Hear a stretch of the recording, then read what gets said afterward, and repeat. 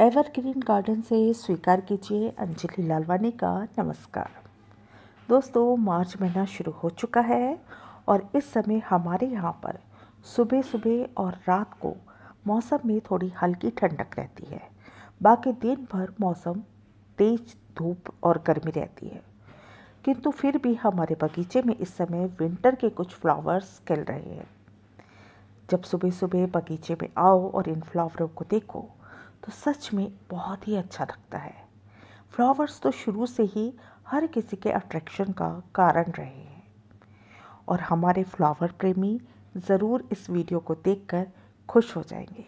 तो मैंने सोचा, चलिए आज आपके साथ भी इन फ्लावरों का आनंद उठाते हैं। साथ साथ आप भी उठाइए।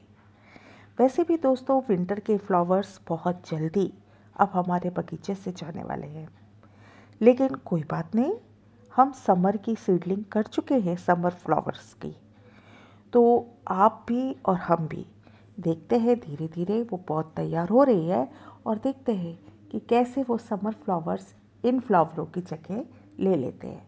वैसे भी एक अच्छा गार्डनर जो होता है, वो हमेशा अपने बगीचे को फ्लावर से सजाए रखता है और उसकी ये कोशिश हमेशा रहती है कि उसके बगीचे में कम से कम फ्लावर तो रहे ही क्योंकि यही फ्लावर तो है जो हमें अपनी प्रकृति से जोड़ते हैं।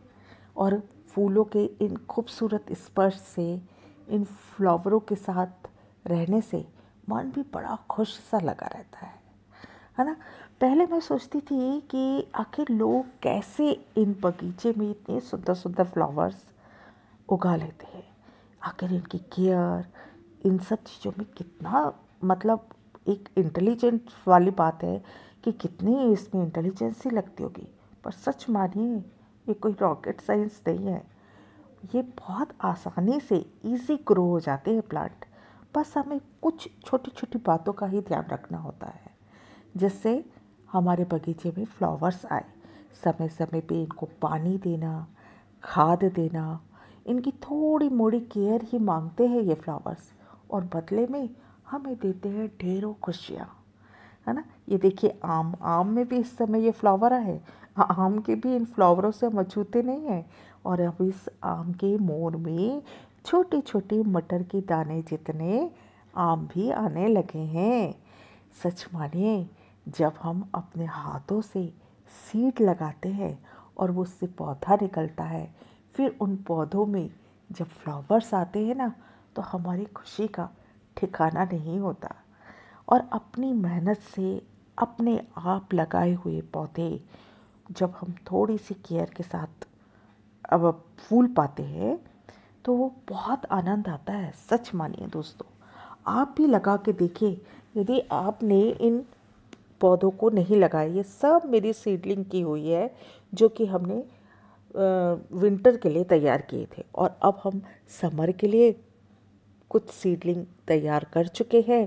धीरे धीरे वो पौधे बड़े होंगे और जब बड़े होके फ्लावर देंगे तो उसमें भी मन झूम जाएगा।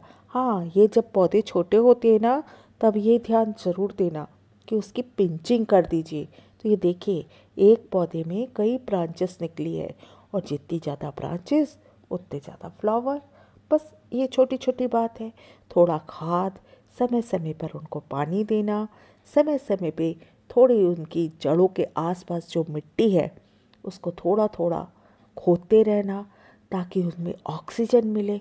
सच मानिए, ये पौधे भी हमारे बच्चों की तरह ही होते हैं। हम अपने परिवार की, अपने बच्चों की जिस तरह से केयर करते हैं थोड़ी सी केयर, बिल्कुल थोड़ी सी केयर ही मांगते हैं ये बेचारे, और ज़्यादा कुछ नहीं। और पतले में देते हैं ढेरों खुशियाँ और आनंद। ये देखिए गलाटिया का फूल। ये भी हमारे विंटर में खिला था और अब समर में भी खिलेगा। पर ये क्या है? पौधे धीरे धीरे अपने फ्लावरिंग देकर जब समाप्त हो जाते हैं तो हमें ज़रूरी है कि हम दोबारा इनकी सीडलिंग कर दें और समर में और आने वाले सीज़न में उसका फिर से आनंद ले सके। कुछ समर के और भी फ्लावर्स हैं जो आ जाएँगे तो हम उसे भी देखेंगे और आपके साथ एंजॉय करेंगे।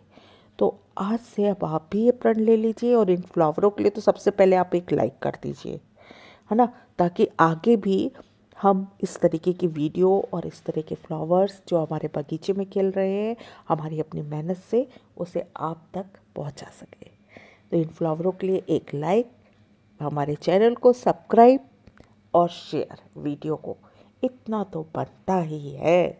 तो चलिए, इन्हीं गलाडिया के फ्लावर्स के साथ और आने वाले सीज़न में फिर मैं फ्लावर के साथ फिर मिलते हैं।